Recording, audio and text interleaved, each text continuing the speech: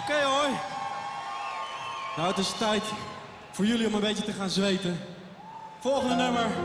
Elk optreden. Heel de zaal staat te springen. Kijken of dat hier ook lukt. Beetje uitkijken over. Maar komt